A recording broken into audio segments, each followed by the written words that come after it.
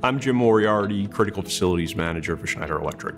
I oversee the operation, maintenance, repair, uh, upgrades for a client's data center. I've been there since early 2012, and we have had zero instances of outages to the customer's operations.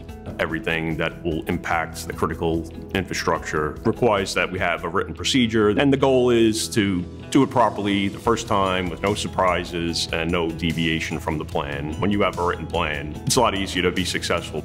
I hire all the subcontractors to perform the critical facilities work at my data center. So that would be an electrician, a mechanical company, a plumber, controls, security, and then oversee it through our written documents to make sure everything is done the way we want it done.